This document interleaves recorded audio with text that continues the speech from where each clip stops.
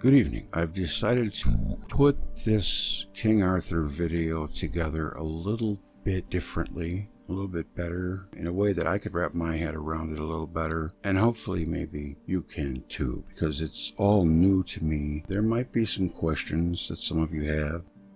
First video I did on King Arthur in America, I thought I just made it too busy. And the second one is more scholarly, for those of you who like the textbook stuff. I wanted to make the one that was just right in the middle with the right amount of visuals, still shows the textbook stuff in the important places and also gives a good synopsis of exactly what it is that Ramon is talking about. Well, there are two gentlemen who live in Wales. Their names are Wilson and Blackett.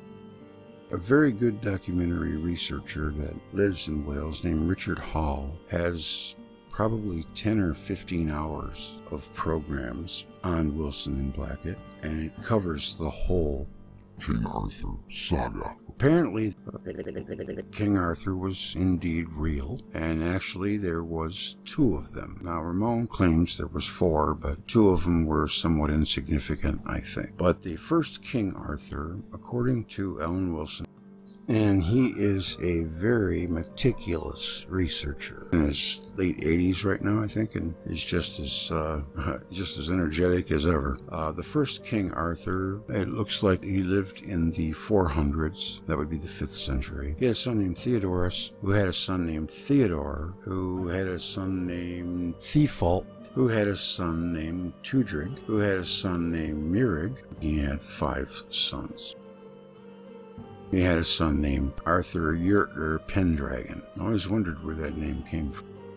And he was indeed married to a Gwenfar, Guinevere, right? Guinevere. I got it. Um, just to set the record straight, there are a lot of myths about King Arthur, but King Arthur was indeed a real king. In fact, there were two of them, and that's something that I just recently learned. But there's the genealogy. For more in-depth details on all of that, I will leave a link to a playlist of all of Richard Hall's King Arthur videos. You can check that out at your convenience. I just wanted to give a little bit of a pre-story here and I wanted to show this again in a little bit better of a light, I think. So I hope you enjoy the show. This is some of our real history, and please, I ask if you um, don't agree with it, to at least watch it and give it a fair chance.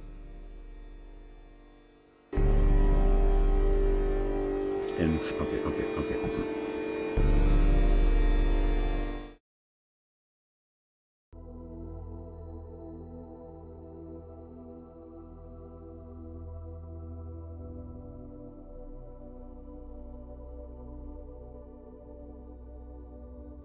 King Arthur in America. The stories of King Arthur and his knights have long fascinated readers, young and old alike. Some of America's most prominent writers and artists, from Mark Twain to Howard Pyle to F. Scott Fitzgerald to John Steinbeck, have treated the legends in their work. The influence of the legends extends well beyond into literature and American popular culture. From the early 20th century youth group, the Knights of King Arthur, which became a model for Sir Baden Powell's Boy Scout movement to advertise architecture, food, products, toys, games, graphic novels, comic books, popular music, and of course, television and the movies.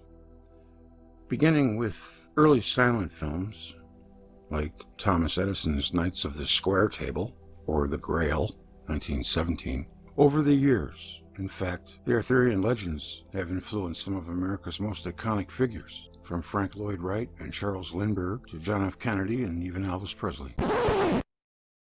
Most people know that already, but here's something that most people do not know. In AD 562, Britain was struck by a comet, or the planet Mars maybe, this great catastrophe that devastated and destroyed most of the great island, the majority of the large population between 9 and 10 million were annihilated. The lands were contaminated and diseased, and it was death to enter these great wastelands for around 7 to 11 years. This gigantic disaster is one of the major events in British history. It is probably the cause of the Roman Church insisting that no stone could ever fall from heaven onto planet Earth, until the Church was compelled to admit the truth when a large shower of meteorites landed near the French village in AD 1803 and Velikovsky covered that in Worlds in Collision. I remember reading it. Two things then happened as the Anglo Saxon and Jute people swarmed into empty and largely depopulated lands, where the survivors were struggling to restore their devastated and destroyed country. This was to become ludicrously known as the Anglo Saxon Conquest. The second disaster was the arrival in coastal eastern Britain of Austin in AD 597, sent from Rome to preach Catholicism to the immigrant pagan Angles and Saxons. I'm wondering where they would get a name like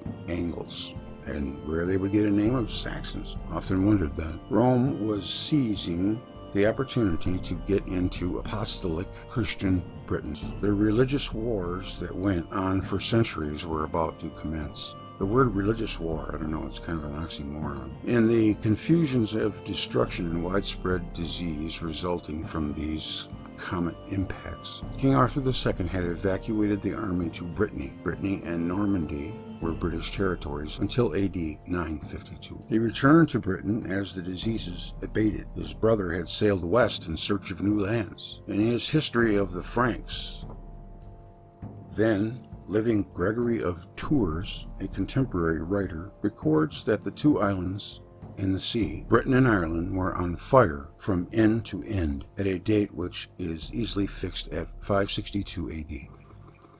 This would be the disaster resulting from the comet debris striking large areas of Britain and Ireland. King Arthur and his voyage to America and his burial. Madoc Morfran, the Cormorant, some of these words are really hard to pronounce for me, a brother of Arthur II, had sailed west in search of new lands, which might be a place where people could live. In AD 572, Madoc returned after 10 years, that's a long time, and detailed the discovery of America. In AD 573, Admiral Gwynedd sailed to confirm Madoc's star reckonings. And in 575, Arthur II, Madoc, and Amwen Du sailed in a 700 ship fleet for America. All this is absolutely provable and again bad news for Rome.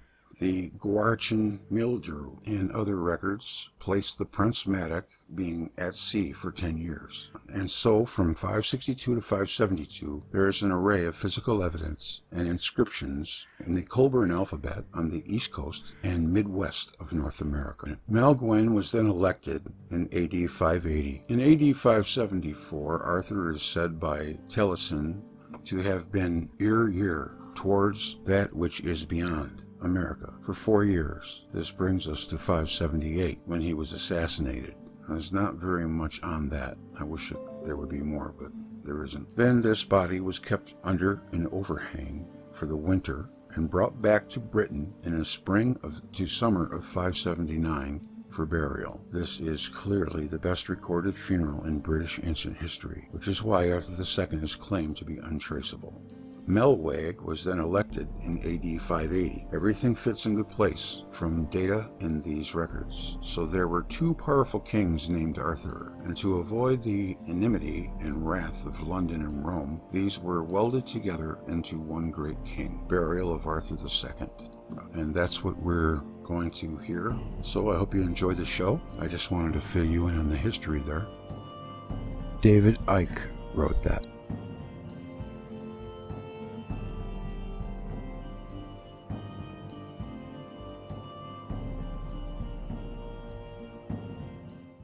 Shifu Ramon will regale us with how this all came about. I'm all ears and I'm I can't wait to hear. So without further ado, here's Ramon. Looking at the uh, that are on the rocks, so they weren't looking at it from a plasma uh, stripped sort of uh, perspective. They were looking at it from a diffusion perspective. You know, coming out coming out of uh, England, mm-hmm. Uh, Wales, and they had good reason for that because the runes here are translatable, and there is a culture called the Fort Ancient that they do not uh, they do not understand exactly why these people changed from the Hopewell into the Fort Ancient culture. And the although they use conical mounds, there is a difference in the behaviors of the Fort Ancient culture versus the Hopewell, and it's very mysterious. And they're also a very defined area, starting at the Falls of the Ohio and coming over um, into the central of Kentucky and up into the uh, southern Ohio. Mhm. Okay, this is really important, and we're going to come back to it. Okay. Now, as I as I was working with them, I started to learn more and more about the work of Wilson and Blackett. Okay. And uh, Wilson and Blackett, they are kind of, in my mind, amateur legends. They they went forward and and did Arthur research using the Welsh stones, and came to amazing um, conclusions, and then even found the headstone of King Arthur. And they published a book on it. They just followed it all like the the breadcrumbs, you know. So they would just follow the trail, and they would come to the conclusions that they would come to. I'm going to change to um, not speakerphone because my family's making a lot of noise. I don't hear anything, but okay. Well, I know, but it's it's there. Okay, You- so along somewhere in there, I started to learn about the electric universe stuff, and I started making my own discoveries. Some things started to overlap. I was going to ask you about that. Yeah. Yeah, and so as I'm reading uh, Wilson and Blackett, uh, I start thinking about what they're really doing in terms of the cosmic hill and the Saturnian myth. Mhm. And now, now comes to the thing that really threw me, I which I did not know that Camelot was a bastardization or you know a, a, a kind of a derivative through the French of the original uh, words in uh, Caer Melyn, where Caer is a hill fort and Melyn means yellow brown, kind of a yellow brown, exactly like the color of Saturn. Ah, Yes. Now, I started to think about the potential of looking at the entirety of the Arthurian tradition, which is derived out of Troy. The whole reason they were called Brits is because of Brutus of Troy. hmm. This entire tradition may have been a very ancient um, Saturnian tradition that was displaced due to cataclysms and such, and that fled up that way, later on becoming Christian, of course, by the time of Arthur. And uh, but early Christian, right? Not not anything like we would recognize, but but uh, definitely Christian nonetheless. And that this uh, culture had ancient throwbacks to the uh, Saturnian myths, uh, the Talbott Talbott type myths, right? So this paper that I wrote was is all about that, and I'm relying upon the works of uh, Wilson and Blackett hmm because they took the time to get access. Now, a lot of people out there are going to to have doubts about the Arthur tradition. I want to say first of all, that whole, whole saying, "Where there's smoke, there's fire," is definitely something I believe when it comes to myths. That if there you have a myth, I am likely to believe that there is an origin for that, and I do not believe in you know, like for example, people will say Jesus is a pure. There was a school of people, and they're trying to convey this and that, and so they invented the perfect man. Uh, that kind of conspiracy theory, I think, has no uh, basis. There, it's pure conjecture. You know, in that part of the world, Arthur, the name Arthur is like, I don't know, it'd be equivalent to Caesar or even Moses. So I would be shocked if there never was a King Arthur, meaning it's synonymous with a great man. Likely, you start with a seed of something and it becomes something else. hmm The Tao Te Ching was probably written by uh, a man who may have been Lao Er, we don't know, but he probably wrote the first two verses. We know he didn't write all 81. You can tell that because the writing style changes, the penmanship style changes. We have an, now older copies of the Tao Te Ching, and we know for sure that it was modified uh, between the, the, the oldest copy that we now have and the, the copy that everyone was relying upon for thousands of years. But that doesn't change the fact that at some point there was probably a guy Lao Tzu. And same thing with Shakespeare, same thing with Homer. Um, I have no doubt that there were original people who were the source of these stories. Mhm. and Arthur is no less the case. In fact, there's a lot of evidence for Arthur. Um, there's this entire thing that I, I didn't know about called the Llandaff Charter. Mhm. Uh, the land charters are the notes in the located in the margins of the Bible at the Llandaff Church in Wales, which chronicle land exchanges and title exchanges and other things uh, that are political uh, and church state related uh, between Arthur II's family and um, the church. So, for example, his uh, his grandfather, uh, Tudrig, who would call Theodoric in English, Mhm. was uh, excommunicated at one point for killing his own brother, and for a few years was an excommunicated patron. Then was brought back into the church and uh, enabled to be uh, forgiven, and then by the time he dies, becomes a saint. He does this by donating land for the church because at that time the uh, kings controlled all the land and the uh, church had to receive charters for their Mhm. okay so this was not the uh, typical way we look at the roman catholic church Mhm. um, this was uh, a much more um, contractual system Yeah. and so there was a lot of religious politics involved at that time between arthur's family and the other now there's more to the story in terms of uh, which arthur because there's a 300 year gap in the stories of arthur conquering romans and then even penetrating into europe and, and beating the romans on their own turf before coming back to, to britain and then the arthur who we have in the Llandaff charters so as it turns out there's two arthurs here Okay. one is Arth, Arth, uh, Arthwir, and one is Arthwis. Ah, Let's call them Arthur one and two. Now there's two other ones, but they're named after Arthur the second uh, and Arthur the first because these were Arthurs that were, you know, let's see if we can create. You know, if you name the second one after the first and it turns out really well, then maybe the third one will, you know, be the, the next come. But it wasn't to be. I mean, long term, the immigration of Germanic peoples and uh, Nordic peoples um, to the region, to the, the island, and to particularly England, Logres. Uh, there's just too much coast for the kingdoms in Glamorgan and Gwent to control. But they controlled the best port, and so for a long time they were able to hold it. Now, how were they able to hold it? Unlike where Caesar encountered people who would give up fairly easily, they used these systems of hill forts. And these hill forts were arranged in rings, uh, which provided for mutual defense. And uh, so let's see what, what page we can see. We're going to skip ahead of that and then come back. okay. Uh.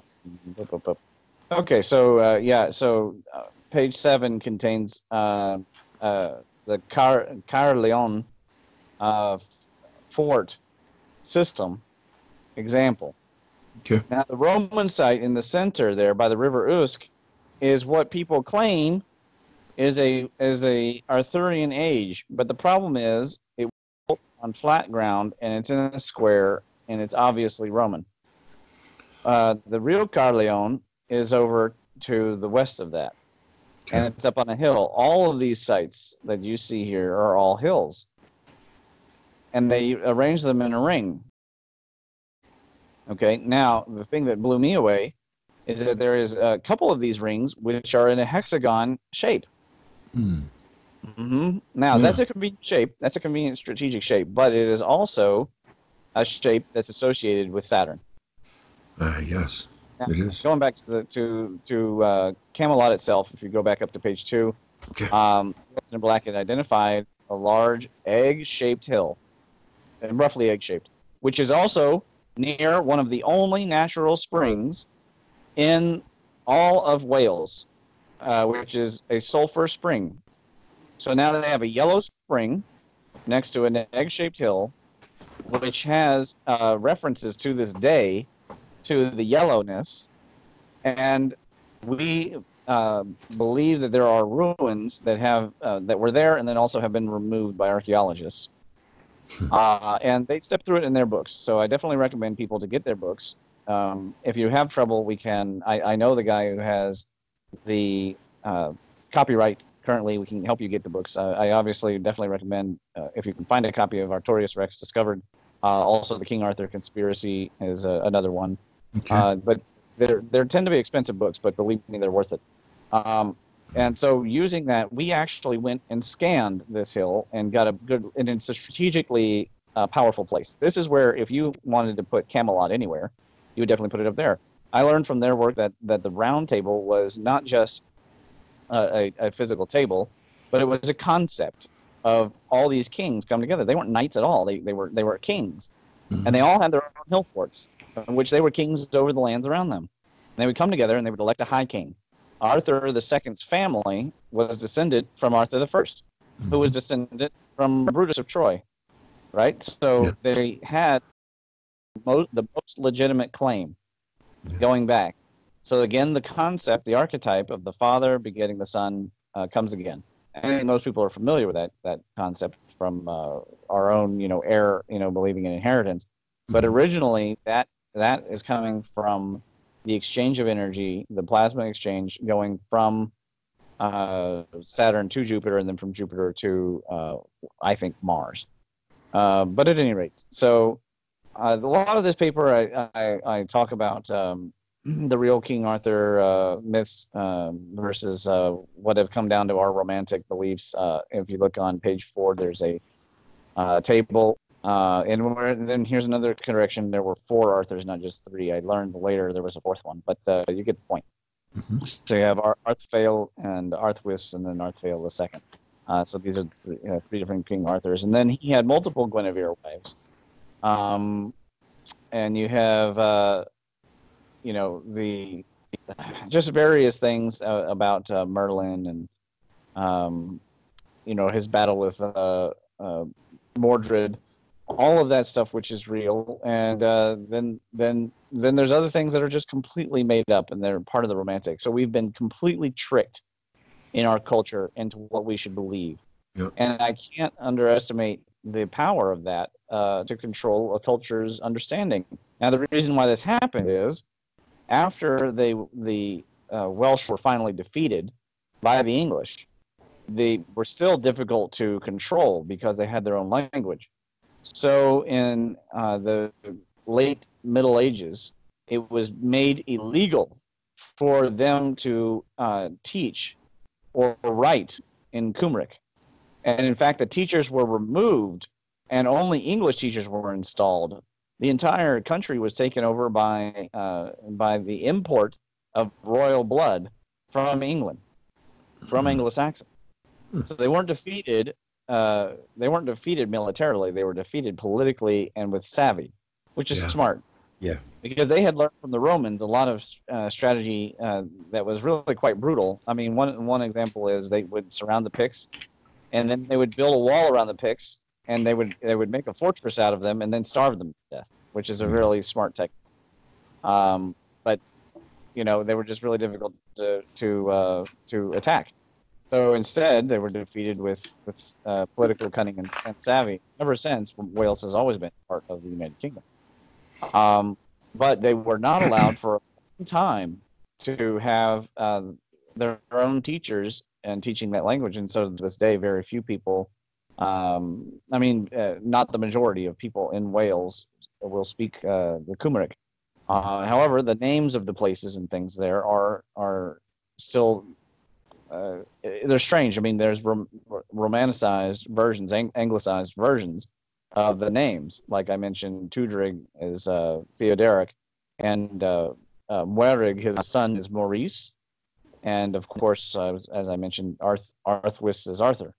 Uh, on page uh, five, you can see the names of these uh, British kings on the left in the Welsh stones. Okay, these are stones that are carved. They're often strewn about the countryside and left in carports at churches, just laying around for anyone to walk up and see in Wales. And then you can see that there are uh, analogs of Roman uh, Roman names over on the right. And now a lot of people are going to to say, well, these don't seem similar enough, but some of them are uncanny. And so, what you know, what if it's possible that uh, for a while the Roman Empire was controlled uh, there at Glamorgan and Gwent? It's possible. I'm not making that that assertion, but uh, they they are apparently.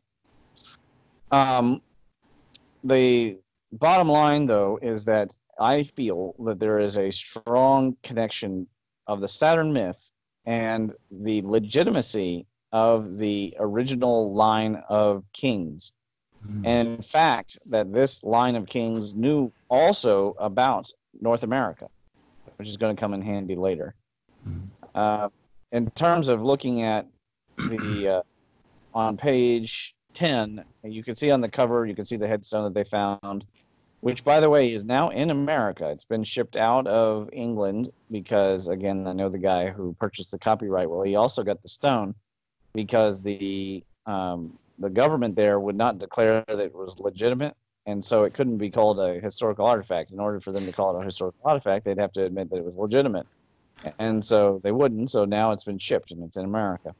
Mhm. And uh, if people want to get involved in in uh, getting that stone displayed, uh, George is always looking for help. So please reach out to me.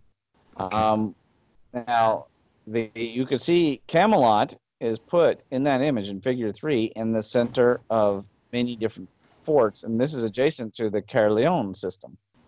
So I think also that they would move about and reestablish these ring systems if that makes sense like that that they would have different ages of you know a hill fort system but i i think that they probably started off with the hexagon in mind or other shapes like squares the square and circle motif um, the uh, asymmetric octagons and then they would then they would move uh, along. Of course they have to build you know using the hills that uh, are most important. Um, figure five on the next page i'm just uh, talking about the cosmic uh, mountain you know and different cultures having different names but it's one of the most ubiquitous every culture having a cosmic mountain. And uh, i want to point out that uh, in china the, the king himself is associated with uh, with the color yellow right? And this Mhm. is uh, more than one king associated himself with yellow. So this is why we think that that uh, Carmelin has to be in the center of the rings because it would be the safest place for the High King Okay. in order to to survive. And then he would have to he would have to go and inspect all the different hill forts and and kind of wander about. That would put him in danger. But in general, once the inspections are done and everything is is all the commerce is flowing correctly, you know, going to the center, Camelot would be uh, truly be a shining hill hill on a on a fort on a hill. Mhm. That wouldn't be a big Norman style castle with big thick walls. It would be a little bit more porous because a the technology wasn't as as high then as it is in the Dark Ages, uh, and b we'll, we'll talk about the the Dark Ages in a second. But b the uh, political system when they would be invaded, they would pull all the people into the cities, and then they would themselves use, use horses and cavalry to defend plains. So the fighting would be kept away from the hill as much as possible. So Mhm. they didn't need big, big, thick. Now, as for Dark Ages, I understand, and th- this I, I learned after you know studying from uh, Michael Crichton, ironically enough. The Dark Ages were not really dark in terms of of um, you know lamplight or something. They were dark because of the withdrawal of the Roman Empire, and so dark to us because we are the culture descendant of the uh, Anglo culture which is descendant of the Roman culture, right? Okay. And so there were other empires that had occupied those regions in Europe, like the Gauls and the Visigoths, etc. And uh, they uh, made technological advancements because in in in the realm of war is is or milling and granaries and things things like that. So they made progresses. It wasn't completely dark, and it was also scientifically dark, but you know, almost everywhere in the world was really, if that makes sense.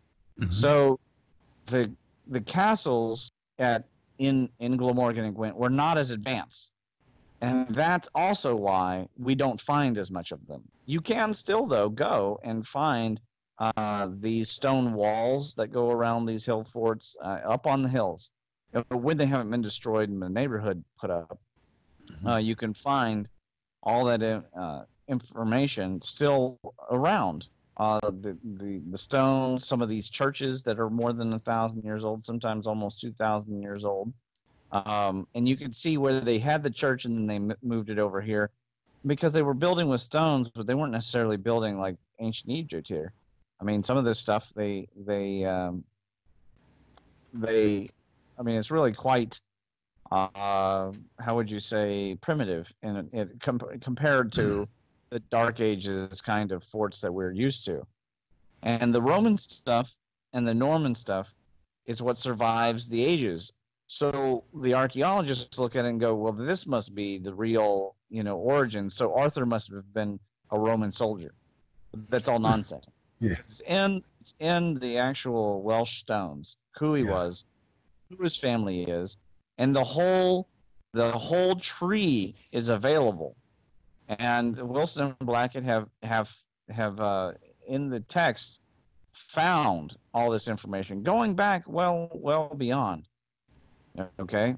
Mhm. i'm trying to think if there's anything else in this paper that's absolutely necessary to talk about. Now i get into a lot of stuff that is you know just talking about egypt and talking about uh, the cosmic eye Mhm. um, there, of course, are connections to uh, various father son gods. Um, Mhm. and uh, on, on page, looks like 23, I give an example of a, a situation where I, I have a map I created of the um, Arthurian, uh, I guess, the hill forts there in Wales. And I had predicted that if this was a hexagon system, there should be a fort in this circle. And guess what? It, I got a someone gave me as a gift another one of their books, and there is exactly a fort right in in that system that we can we could open up the map even and show people. Um, my map is uh, technically public. Uh, it's of course being a Google map, it has a very long hashtag. I don't have a short uh, for the Hidden Kentucky project, I have a short, uh, you know, URL, but not not for the not for the other map. I can get it to you, and you can Yeah. share, and Yeah. we can explore. I just Google map. put it in the video. Uh, yeah, but I mean an actual dynamic Google Earth map that they're Okay. actually able to scroll around themselves. We'll get Okay. you the link, and then you can put that in. Yes. I mean, it is really, really uh, a lot of fun because it also has the the Welsh stuff that we found in America. okay. Uh, so, anyways, I, I was able to predict using the the Saturn myth where I thought a hill fort should be, and then lo and behold, in another Wilson and Blackett book, um, there was a hill fort in that area. Mhm. Um, I call it a vague a vague hexagon. Uh, and and I just want to point out that the, the authority here that we're talking about is not much different than the Chinese concept of the will of heaven.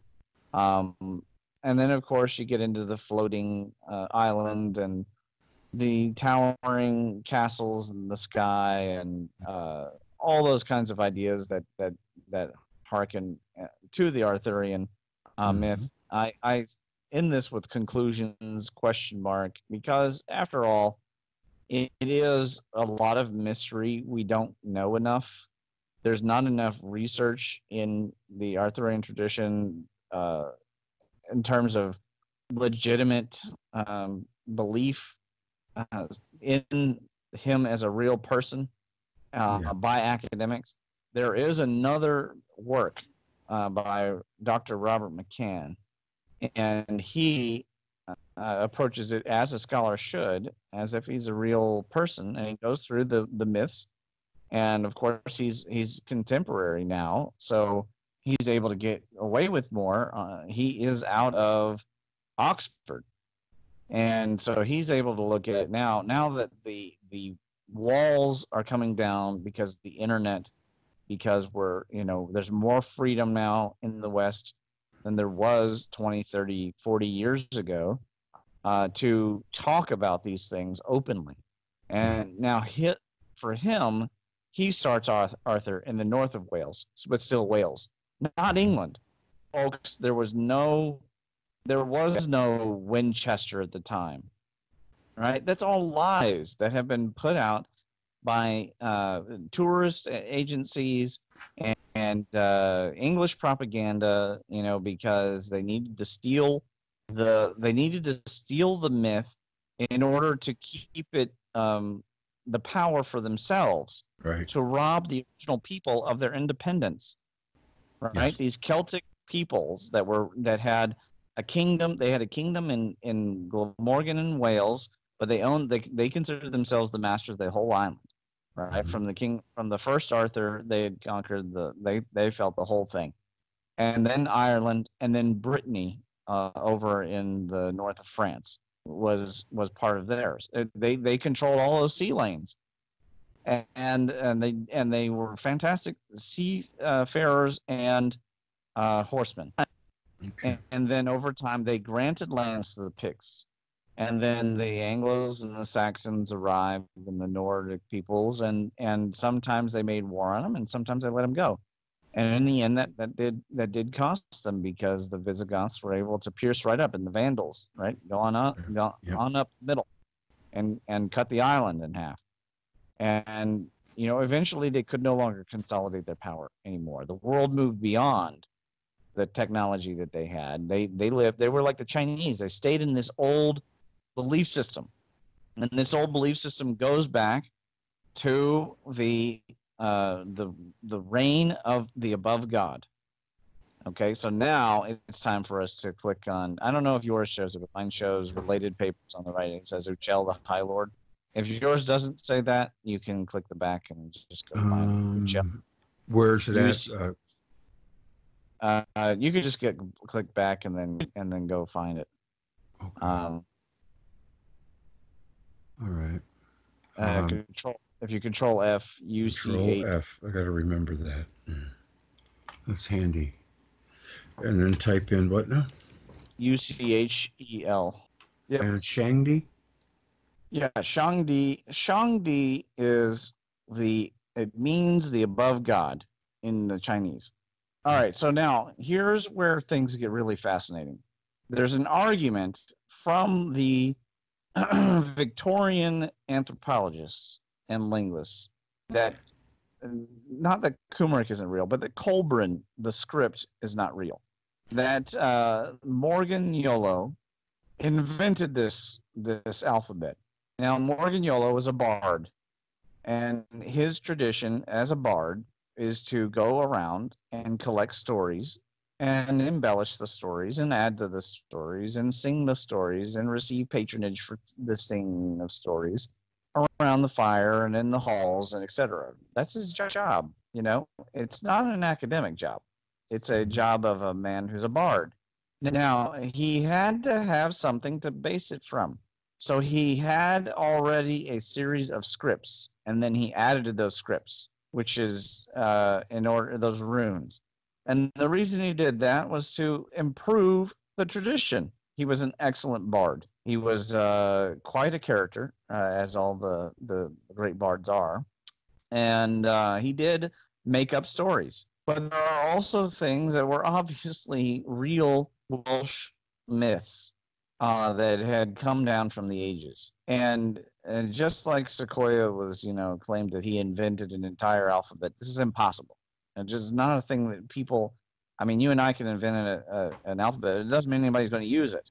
Okay, right. it this is an alphabet that already existed. So I wanted to show that through the plasma script. So this is my my theory when I set out to write this paper, that the Coelbren, like the Chinese scripts, which I had already through a series of papers uh, talking about sumo, talking about uh, Shangdi and uh, Dao, uh, Shangdi Heaven and Dao, talking about uh, uh, later on a Tai Chi paper talking about these things that there is a connection between these ancient scripts and the, Saturn, the Saturn myths, and that these are plasma scripts.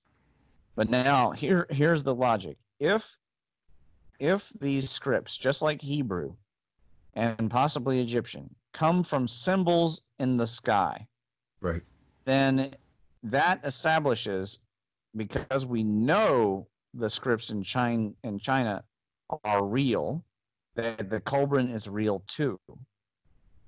You follow me? Yes. if there are scripts that show up in both, they, even though they're across the worlds from each other, and we are not maintaining that uh, the Welsh and the Shang of uh, China are related, then there is uh, a reasonable suspicion that Coelbren is a real runic system, which would make the Welsh language legitimate and all their stories legitimate.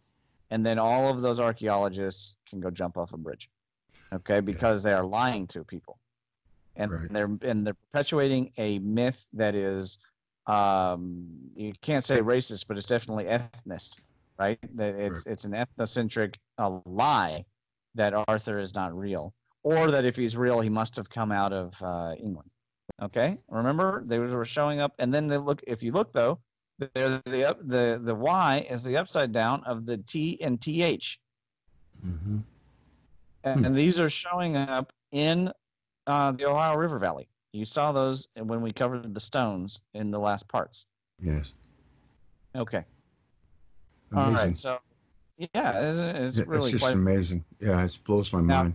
on figure four on page six, we have an example of something that, that has been thrown under the bus by the mainstream archaeology, Of course. uh, by people who didn't know anything about Welsh tradition, uh, as a complete fabrication.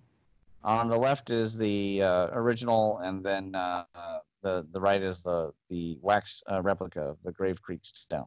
Okay. Okay, now they can't translate that with anything else but Coelbren. Nothing else. Hmm. This is found in America. Wow. Okay. Yeah. Yeah. Yeah. All I, right, you so know, this is all new to me, so uh, Yeah, don't worry about my lack of response. I'm just wowed. Well, So- on on uh, on page seven, you can see Wilson and Blackett step through, and then they start to actually, uh, in the King Arthur conspiracy, they cover these different stones that are found in America that have no translation, according to archaeologists, because they're forgeries, they're fakes, they're hoaxes, elaborates. They never conformed at all to Ogham and and uh, and Hebrew and all this stuff. Well, that's true because they're not Ogham or Hebrew; they're Coelbren that X also shows up in the Chinese. Of course, it, of course it does because it's just an X. But the point is, uh, later on we see that the cross is also associated with wind. Okay, Hmm. but the main point here is that we're looking from the Grave Creek stone at the uh, Uchel. All right. Hmm. So step uh, to figure six on the next page, you can see the etymology of uh, mankind in. Chinese, and uh, you can see that we are uh, getting different references to it looks like a thunderbolt, Yes. Right. But Mhm. also uh, there is the over there on L thirty one two oh six. You can see the man who looks like he's bending over, and you can also see uh, the legs uh, of the the god. And we start to see these plasma scripts. And on, of course, in this paper, I don't spend a long time going over that stuff because I covered it all in another paper, uh, Shangdi Heaven and Tao. So if people Okay. want to know about that, they should look at the Sumo paper and the Shangdi Heaven and Tao paper, and all about the Shangdi and the origins of those uh, symbols. I do mention them down below. Um, uh, on they're on page eight. Uh, Gao, Da, and Tai. Uh, Tai is interesting because, uh, well, see, you can see Da has the great man with the one line above, uh, but then Tai, which uh, means the highest or greatest, uh, has a little penis. Now, the Yeah. penis, the, the little penis there, um, is also in the word uh, uh, as in Dao De Jing. And that de, when you look at the etymology for de, you find two spheres that are connected with some kind of uh, uh, like thing. And it does look like a scrotum. And if you recall, Zeus, uh, Zeus castrated uh, uh, uh, Zeus castrated Kronos, right? Right. and he lost the two uh, testicles. Um, but it might have been that there was a plasma stream that was streaming between them, and then that was cut off and ended. yes. So there's all these uh, phallic references. All right, so you can see the etymology of uh, uh, big or da there in figure seven on the next page, and you can see most definitely that is our squatter man. Yeah, it is. Yeah. There you go. I mean, That's for very sure. J twenty three one ninety seven.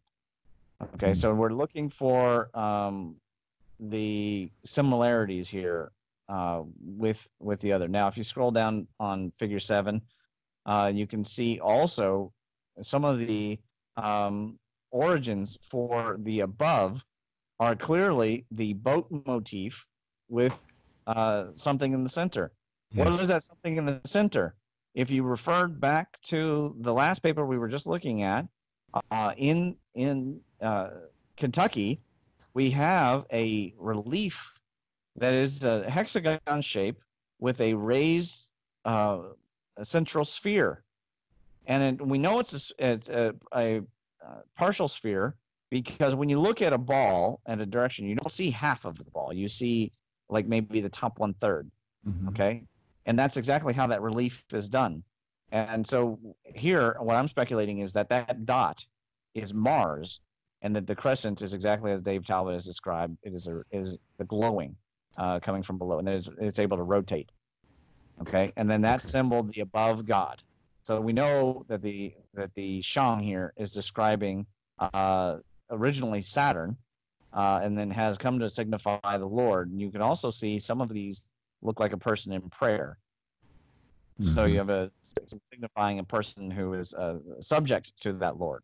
Yes, Uh, yes. when you get down to the next page, you have D, uh, and you have uh, symbols in D. You can see the uh, hex hexagonal aspect, but you can also see uh, some of the etymology for heaven, uh, which because D has uh, the Tien symbol in it, which means heaven, and so you have in Tien you have the etymology.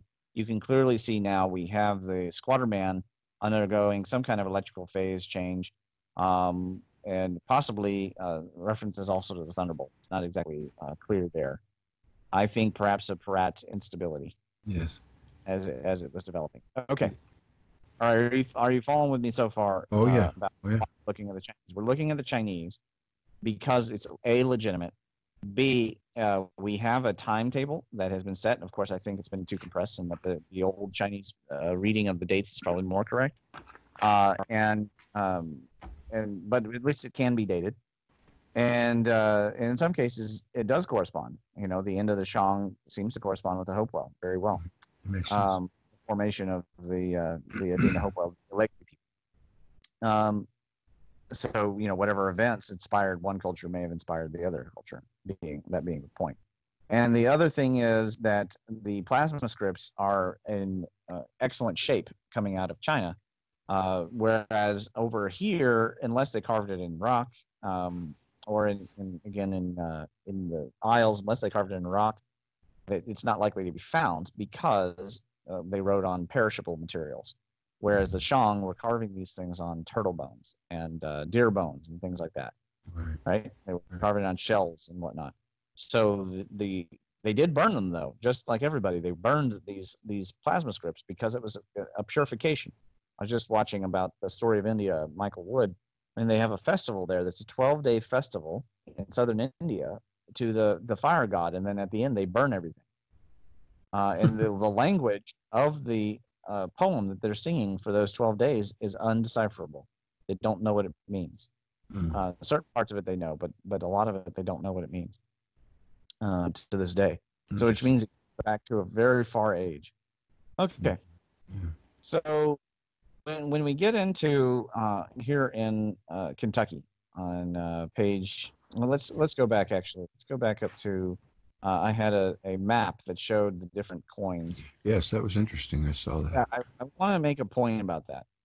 The archaeologists claim they do not claim that these coins are, are forgeries because that would be impossible. What they claim is that they brought back by World War II veterans. But I want you to look at something. Are they saying that only veterans who went to Europe came from the eastern part of the United States, and that only veterans who I, I guess went to the Pacific were in the West Coast? Because I don't think that's how that works. No. Okay. Yeah. These I coins were found here because the Great River, that is the Ohio River, and that and merges in the Mississippi. That Great River was the greatest river in North America, you're- and all these are sea lanes, uh, high, highways to economic values. And these these uh, Roman coins have been found in the interior of Kentucky, and then North Carolina, and Tennessee, and Georgia. This is not an accident, No, we didn't think so. right? Right. This is and this is not people dropping their who who brings back a Roman coin from Europe and all these all these veterans are bringing them back and then dro- going what going to the river and dropping them out of their pants. I mean, it doesn't make any sense. Yeah. So these are legitimate finds, and they're legitimate because the Welsh were here uh, early on, and we see this in the uh, in the ruins. And by the way, there is evidence of destruction of uh, of stone forts in America.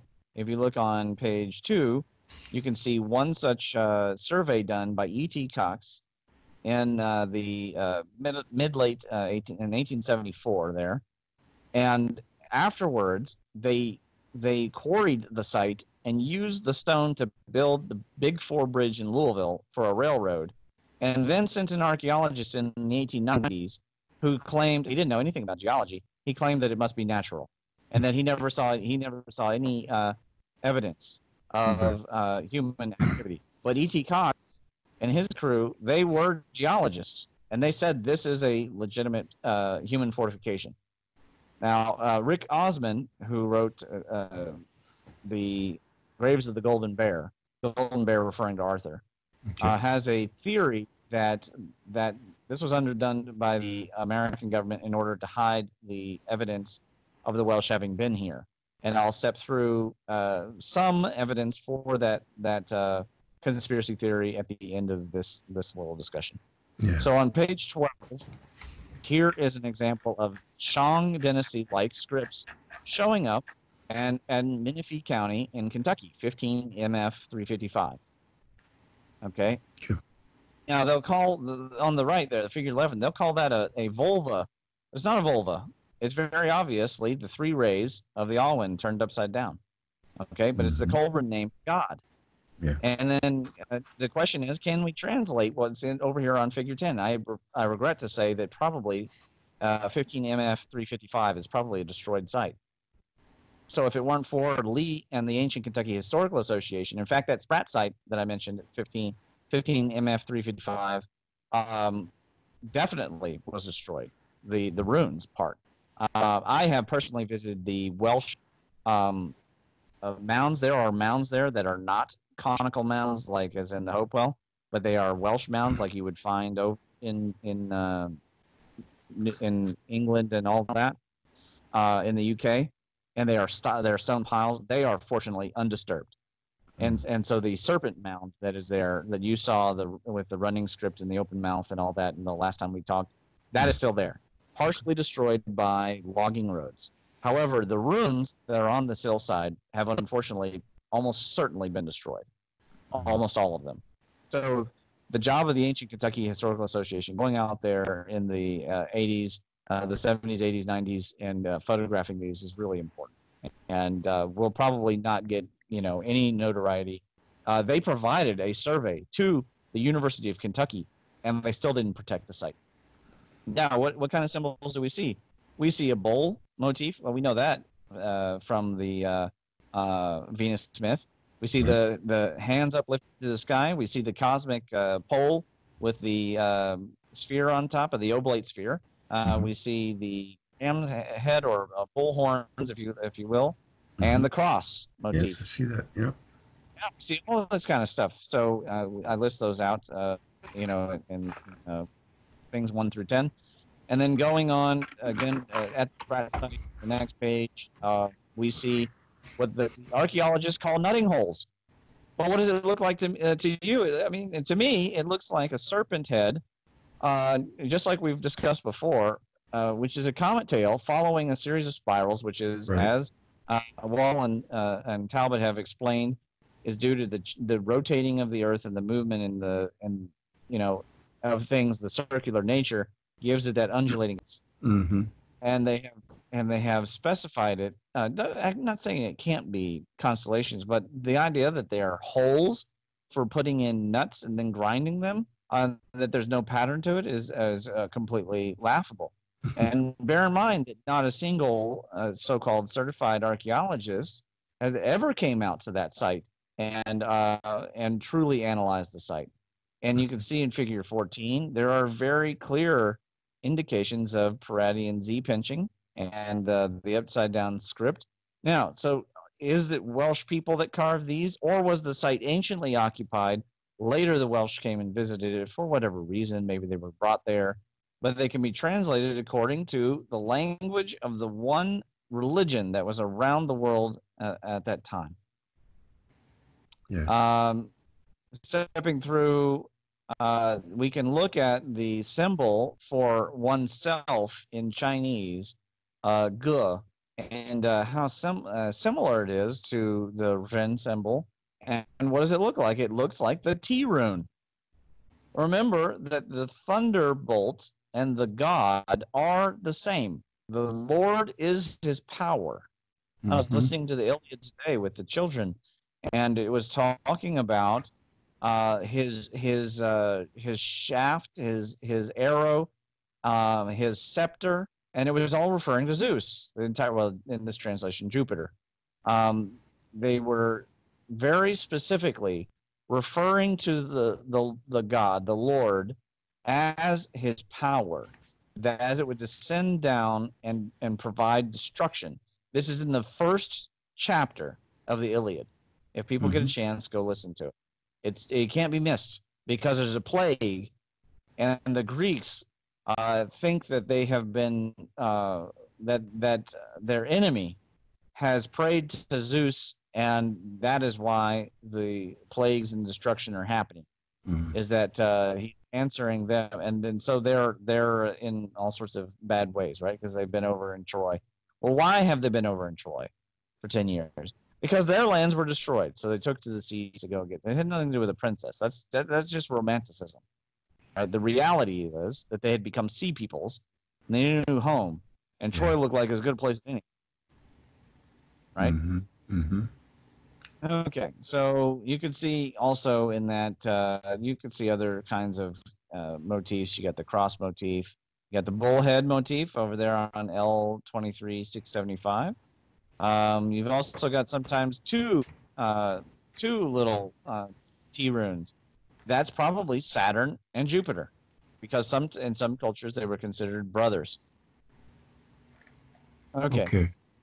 Now, in in uh, page fifteen here, we talk about we see the subject of uh, God in Coelbren, and I, I think this is worth reading out loud uh, to people.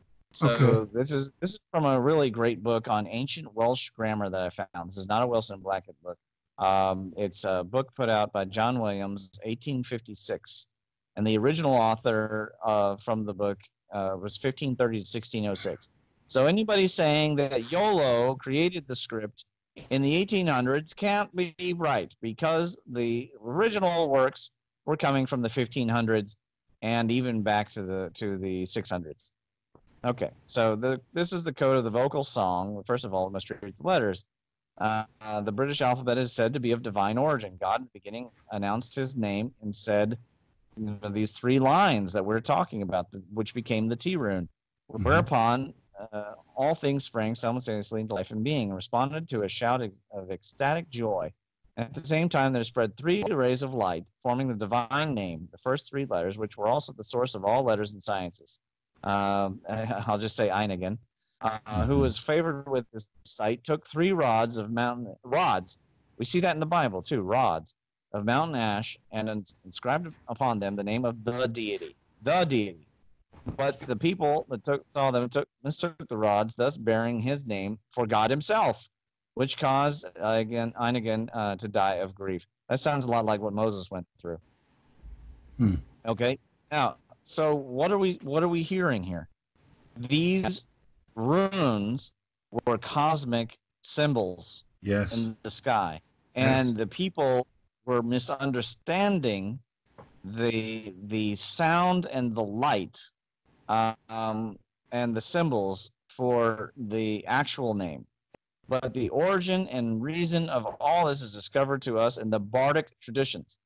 There we learn that God created the world by the melodious threefold utterance of his holy name, and that the mm-hmm. for, form or figure of that name was that symbol. Being the rays of the sun. Of course, this is not correct, right? But that's all this guy could know. At the equinoxes, solstices, converging to focus the eye of the light. Show God in his various characters as the creator, preserver, and destroyer. The divine name may not be uttered because no mortal man can articulate the harmony of the sound. It is kept a secret lest by the ignorant it be abused and dishonored uh, by the Hindus. Uh, this is you know the opinion of that uh, that author at that time. Formation of the additional letters found uh, uh, are the single one, the triple, and then the upside down version, which is almost like a W, or Mhm. Yao, Yao. So there you go, Yao, Yahoo, Yahweh, and uh, the uh, well the Cherokee is Wahoo, and the Yao is in the Chinese. So again, did the Chinese no explication for until I gave the presentation? That symbol, you can see that I highlighted with green, is almost exactly what you see coming out of the Chinese for the etymology of D, the Lord. Mm-hmm. And again, you see it there on figure eight on the bottom of 17. If you compare figure eight with what you're seeing here, the only thing you have to add is a pyramid at the hmm. top Yeah. and then square at the bottom. By the way, the square in Chinese is a mouth.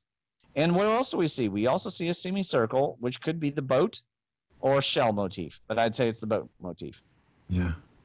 time. Now look at the, some of the etymologies in the sig- center of figure 20. What do you see? It's amazing. The alpha fish. Okay, now that Yeah. alpha fish, that alpha fish is the symbol for weapon. Uh, the alpha and the Mm. omega. I am the alpha and omega. How am I the alpha and omega? Because the thunderbolt is the alpha and the omega.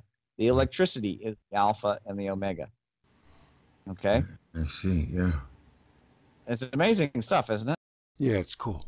see we see here i go into some uh, detail talking about uh, the power of the the yao on um, uh, page 19 I, I don't want to spend a lot of time on it but you do see to shake you see the motif you see the the uh, symbol for sun.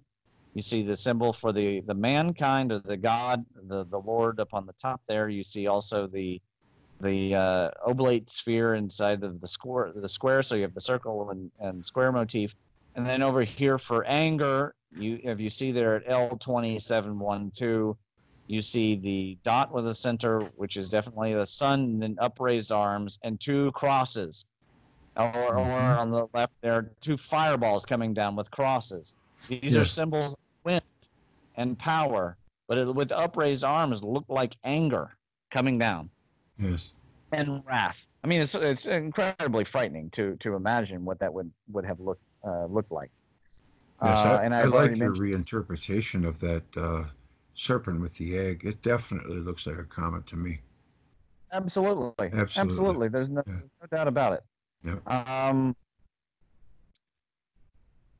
now coming down, uh, let's see here. I, I, I, we don't need to go through all of these. I mean, you can see some of them are just fantastic. I mean, uh, looking at, uh, you know, the word for rain, you can definitely see the deluge happening. I mean, who wants to draw that many dots? You know, it's, it's very obvious that there's, uh, that they don't mean a little bit of rain. They mean a lot of rain. Mhm. Um, there's the eye motif shows up in uh, some of these. Um, uh, the boat motif, uh, the the cross, uh, the Maltese cross Mhm. uh, motif for the sun. Uh, we get back to uh, the, you know 21 the Venus uh, again showing up here with the the bull of heaven. Um, bull heaven uh, looks a bit like a comet flying. Uh, it's almost unmissable. It's and kind of taking on a penis to look too. And my, and my yeah, that's true. and my my favorites in 20 page 22 uh we see here two oblate spheroids and they're in motion and then they're above each other and then there's even a shaft of energy going from one to the other and the transfer. And then we see references to to uh, what appear to be uh, genitalia, Yeah. Right. And then more com- more comments by the Liu Shu Tong, more more flying uh, asteroids and such, right? So Yes. I mean it's it's it's becoming very clear, I think, to anybody that's paying attention. By the way, on page uh, 23 there, you've got the Venus of Willendorf uh, in in the Chinese glyphs, L29782. hmm Interesting stuff. Also, Oh, please yeah. note backwards and forwards upside down J's are notable in the runes that were found uh, at the Spratt site here in Kentucky. hmm All right, now Yes. uh, um, let's move on down to. Uh, we'll skip all the, the, the explication. Okay, now back to, to the, the Coelbren on page 25. All right, now uh, something that people need to know: there are more runes than the the uh, images that I had shown before, and uh, these runes they're from different periods of time. Uh, one of the most important ones is this Tehran. Um, this is an interesting um, rune, this TH rune. It's obviously related to what we were just discussing, is the symbol for the three rays of the Lord coming down. But it's also a consonant that, that shows up in several languages. Uh, the ta sound for thunder and um, uh, obviously Thor and Odin, um, and of course the word thunder even still uh, showing up over and over again. Mhm. And so Tehran uh, is no different here. Uh, Tehran meaning um, uh, undoubtedly a thunder god. Uh, so that this is really fascinating. This T sound. There is Yes. something about that that is that is uh, repeatedly showing up. Um, and then when we get into uh, translations, uh, they translated the um, the Sprat site inscriptions. Uh, we do see references to the below and under, and to uh, the place of reverence and, and a ruler, and the God and the power and the end and his manifest outward. Uh, now, I can't say for sure that this is a correct translation. I am just saying here you have some of the same concepts that are in the Ramses II sleigh. A state of going down, below under, a god, a two, uh, like the you know the number two, a power, and a manifestation. Right, these are central themes in the Ramses II sleigh, which has, if the if the listener uh, remembers from the previous videos, uh, the Ramses sleigh has measurements of diameter, uh, uh, polar and equatorial diameter ratios to Jupiter and Saturn within 1% of satellite measurement. So the story on the Ramses II sleigh, and maybe we cover that in another video, the solar the solar orb uh, paper. It's it's another paper. Um, it's the same information as they're translating with Coelbren, the plasma scripts that were carved undoubtedly by natives.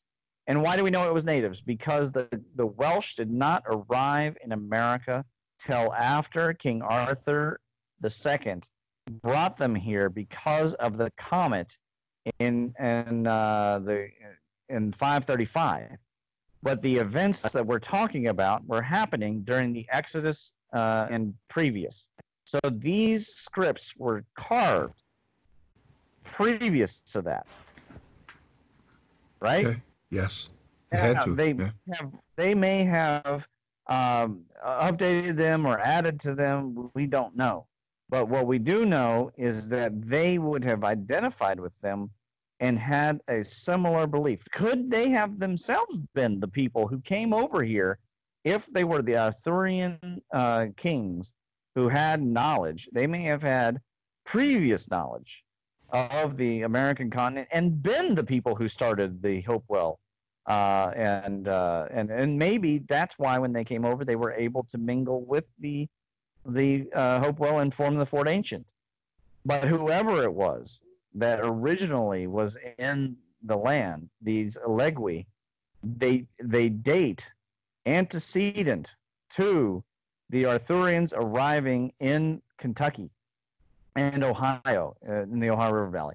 And we know that they came here because in the Welsh stories, on the stones in Wales, and this is in McCann's book, they they make references to otters, bison, Native Americans with headdresses, um, the bravery and the and the, uh, the the type of leather skins that they wore, all that stuff. The Great River, the mounds, they make references to all that stuff that belongs to the Elegui people that we call the Adena and Hopa.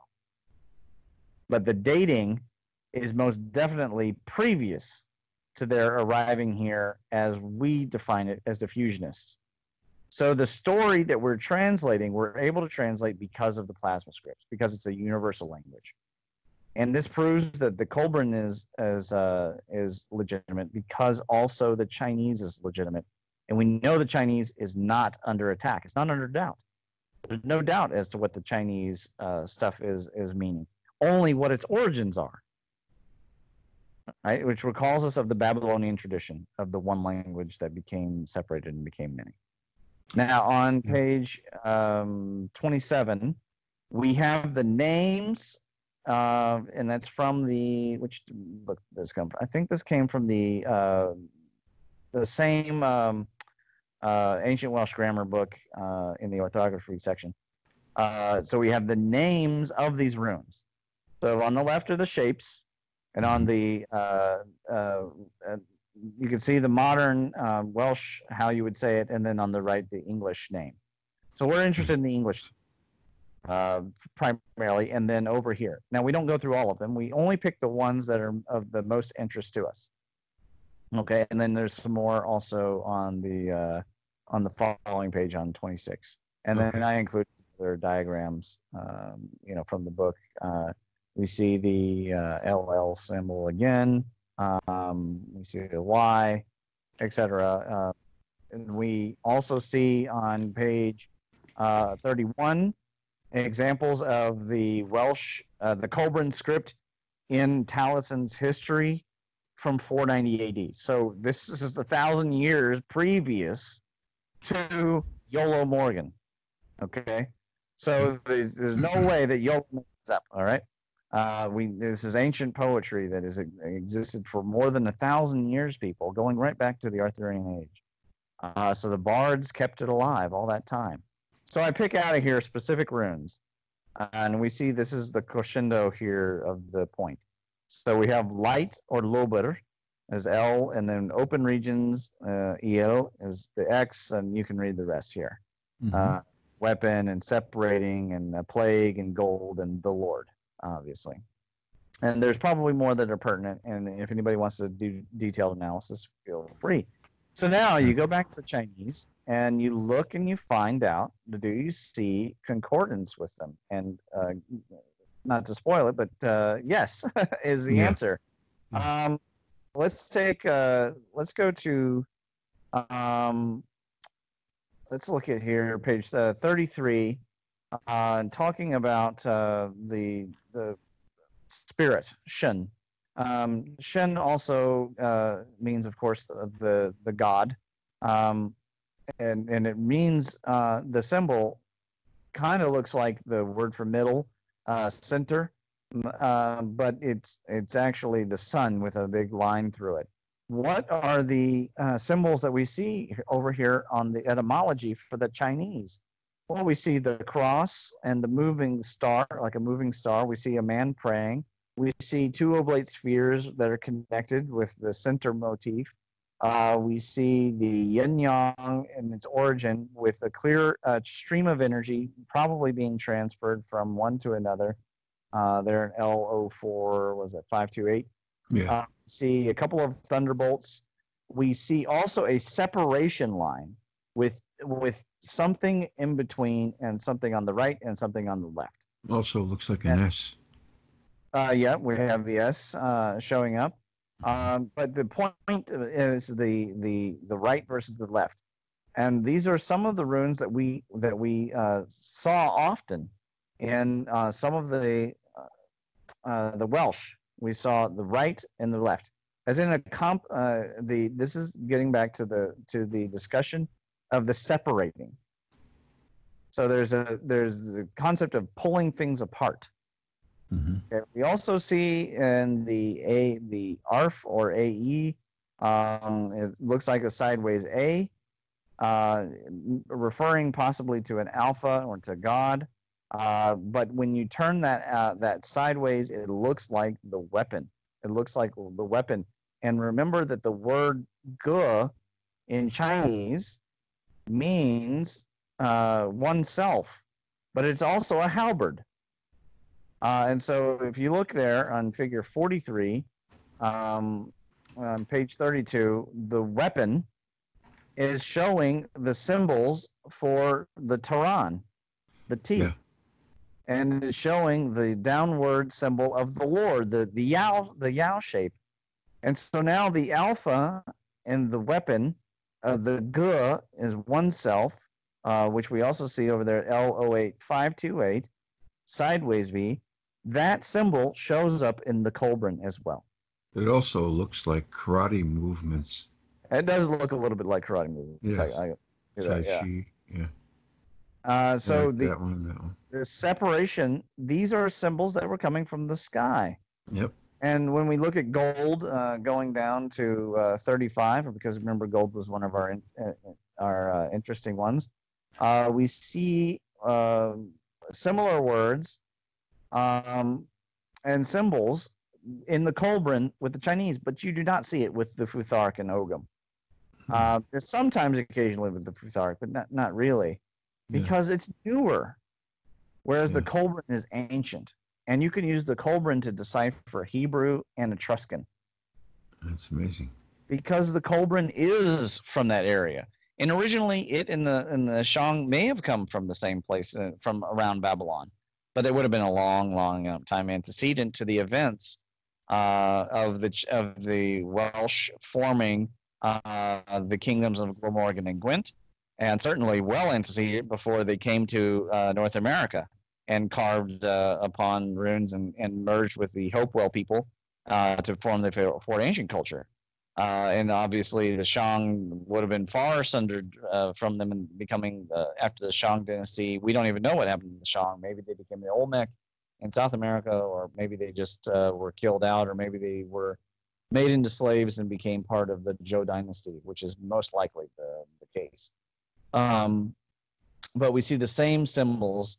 Uh, we see the sideways, uh, the sideways V uh, symbol there, and uh, we see the same uh, the Yao, the Yao shape uh, or Yao, if people would prefer going down. Um, we see the Jacob's ladder. You know, all these same symbols are showing up in both places in discussing the same words. And you know, I won't go through every single one of the the glyphs. People can certainly read the paper. Yeah. So, as far as I'm concerned, this is uh, basically uh, exact proof that the Coelbren is a plasma script, and that the therefore the the Coelbren can be used to read the Welsh stones, and the Welsh stones therefore tell true stories about King Arthur. That is Now- incredible. Going going on to uh, you know just covering the um, what happened here in Kentucky in, in the uh, appendices. I have some of the the scans from um, different books and places uh, about uh, possible places where they come into Kentucky, and then also some other stones. Uh, you can see the chi, a much less known stone called the Chi Rho stone. I don't even know where it is. It may be lost forever. We see symbols of a sun exploding. We see symbols uh, that may be referring to Christ. Uh, you know, fish. it's- it's- um, yeah, yeah, yeah. Uh, other signs that you know pre-Columbian Christians were here. Yeah. Uh, on uh, plate five there on 13. Uh, this is again out of Wilson and Blackett. We see the the swastika symbol again symbolizing a great wind, and we know it's wind because uh, the Chinese have also um uh, included that X symbol in the word for wind. I'm not and seeing the swastika. Uh, it's uh, right there on the third the third line, plate five, Uh, page forty three. I'm sorry, fourth line. You could see the uh, the, the swastika Oh, there. Well, okay. when yeah, Okay, yeah. it's pure winds, pure winds. Uh, so referring to the blowing of the the the winds, possibly uh, in destructions, but it could have been the original pure. When you say pure winds, maybe that's a, ref- a reference to uh, up in the sky. Mhm. So uh, up and up on the the actual the plasma flowing, uh, you know, to do with the center, maybe Mars, maybe Venus. We don't we don't know for sure Mhm. uh, but I, I, I contend probably when it was Mars. But uh, you could see that it is part of the character for when in Chinese Feng. I want Uh, a brief, I want a synopsis of your conclusions too, of like in a, not, you don't have to give dates, but what exactly took so I'm going to go through King my theory uh, here. Yeah. Here, transitioning into the Kentucky stuff. Yeah. Uh, you can see on uh, 44 where um, the the Kentucky inscription sites tend to be found, and then when you go down um, and you look on my my map of the native sites of Eastern culture, in plate seven, the gray sites tend to be in the same areas, all above the Falls of the Ohio, Mhm. where the Cherokee maintained they slaughtered the mound people at the Falls of the Ohio. Why would they do Yeah. that? Well, and we're going to go through that. Uh, if you take a look at this map, there's a couple things to notice.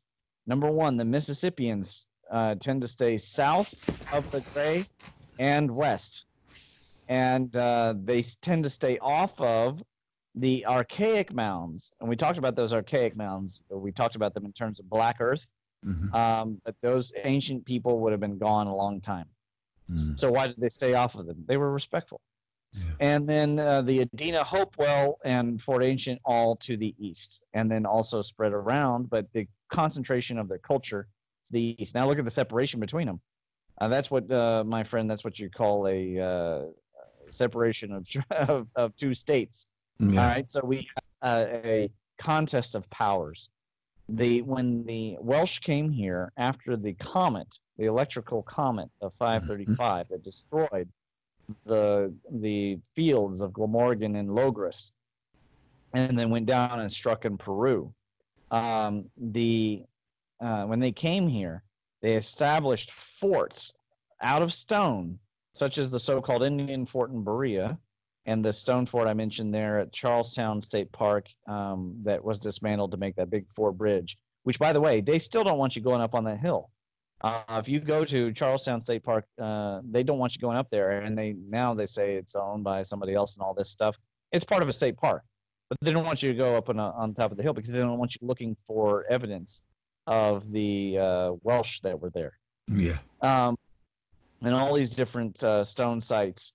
Uh, so all that, all of these uh, tend to be on this side because they had a control of the lanes, the ancient lanes going up to the Michigan Copper, and they also wanted to have control of the fluorspar mines that are between because the Kentucky and Illinois have the largest fluorite mines in the uh, world, and fluorspar is used in smelting of iron. Um, whereas the Mississippians were able to maintain control of the areas that had a lot of uh, uh, pearls, and uh, obviously they controlled the the the source of the river. Now, um, they appear to have been wiped out primarily by smallpox brought by the Chinese, but we don't know for sure. It could have been some other disease. I mean, if the Welsh were here, uh, we presume that the Welsh did not come up Mississippi because they wouldn't have been able to get very far, but it came down the St. Lawrence and uh, came because that's the way the Welsh, the Welsh stones seem to uh, indicate is they came from Nova, Sco- Nova Scotia and down the St. Lawrence and then came down through Pittsburgh and all that, and then and then established uh, you know uh, relations with the Hopewell here. But then they they they were wiped out. King Arthur was killed here, according Yeah, to how did that happen? uh, basically, they snuck up behind him and killed him. It wasn't it was super super easy, barely an inconvenience. I mean, they just snuck up behind him and killed him. And then his body was shipped back in a sack and his mummified remains were left in a cave in Wales until his son was old enough to take power, and then he was buried under a church.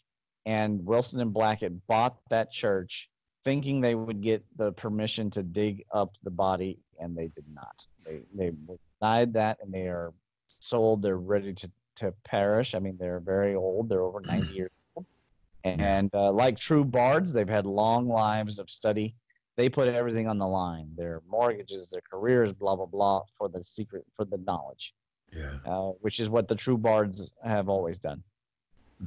Um, and they're so immediately cast as outlaws, you know. basically, uh, when they put out that Rex Artur- Ar- Rex book, that was pretty much the end. Yeah. Um, and yet, it was the beginning for all of the rest of us. And unfortunately for them, they came at the end of the age of, of, of just books, and uh, they publish so much of this stuff without putting it onto the internet. That's why it's important for people like us to go forward and actually uh, can translate the stuff and put it on. Isn't this picture interesting? This is the spot which Alan Wilson claims King Arthur is buried, and his cross was found here. But don't the remains of the church look like the figure of a man laying down? That's pretty ironic, isn't it? It's almost like it's saying he is here. Uh, 20 kilometers from the giant Thunderbolt strike site. Uh, and yet he was correct. There was a long barrow mound there. So these th- th- this religion, there it's not diffusion versus uh, electric universe. The electric universe explains both the travel of diffusion and the similarities.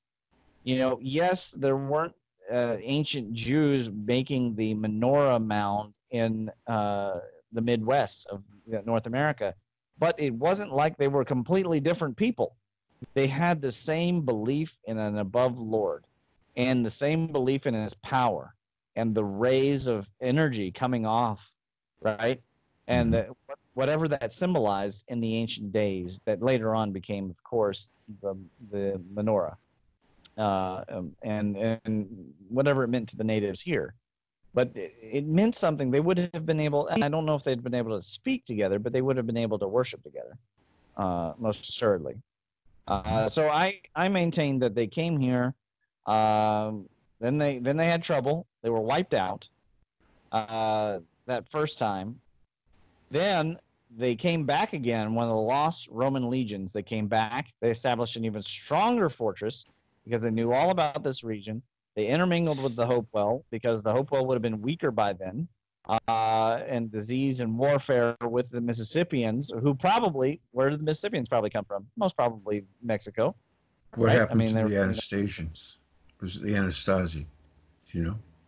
Uh, no, I do not know. I don't. I don't tend to study any of the southwestern uh, natives as much. Um, uh, it is a big weakness of mine. I do. I do tend to focus in this area. Uh, okay. uh, because it has so many connections to our culture via the Arthurian myth and, and all that. Yeah. Uh, so they established this alliance. They formed the Fort Ancient culture. They're building real forts. Why would they need to build forts? Because they were under attack. They had fear. Why did they have fear? Because they were doing commerce. They were doing things that were unsacred and unholy. They were using wheels and had writing, and they were living near mound sites or on mound sites uh, and establishing their own fortifications.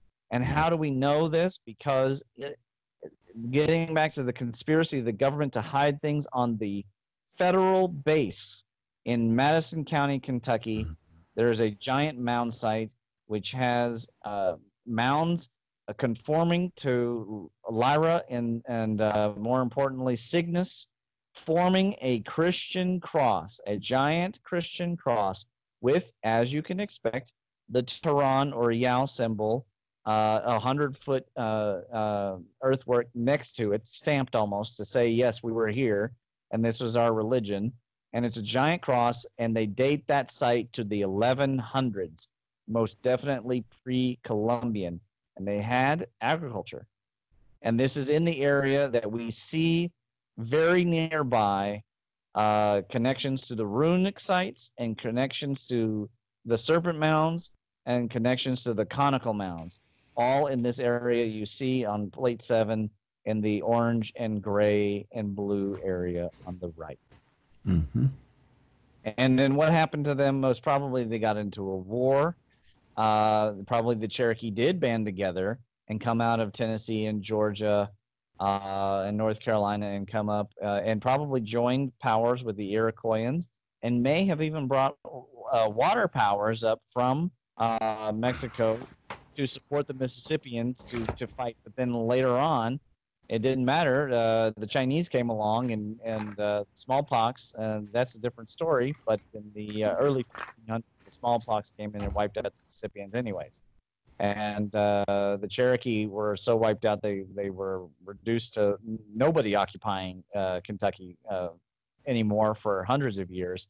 the, the stories of the blood and, and and the war here. Uh, and in fact, the natives were quite surprised that Daniel Boone's people um, wanted to live in Kentucky because of the ghosts, you know, and the giants and the mummies that were that were left behind from all these mm-hmm. wars uh, that were just a few hundred years uh, antecedent. Um, mm-hmm. we see here the king on the page 46, uh, the play date, the King Arthur II and Madoc uh, suspected sites in Kentucky, which includes fortifications and certain mounds.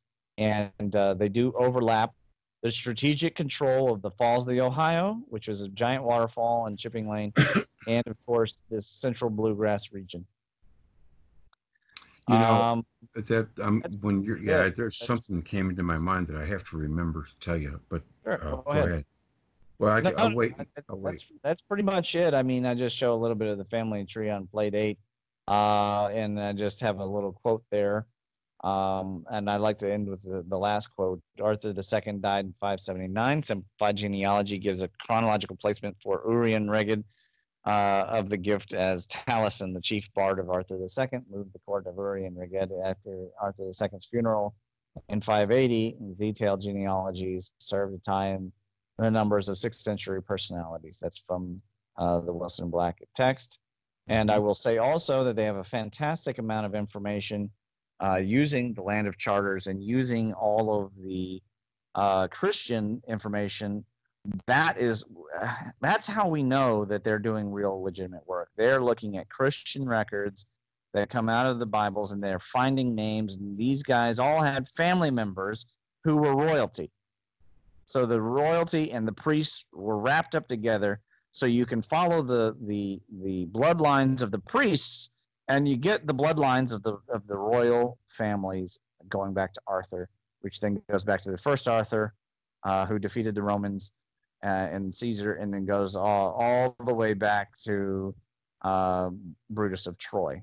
And at the time that they were eliminating the Welsh's right to have a language and a culture, uh, they were saying that it, that Iolo was a fake and a fraud. And then what happened? within uh, within 20 years they found Troy, and then they never came back and admitted that that, that they were. And the gov- American government has definitely covered up sites here in Kentucky, and uh, for whatever reason, maybe Thomas Jefferson was afraid that the British would make war, uh, but I don't see why that would need to be why they would need to hide it in the late 1800s.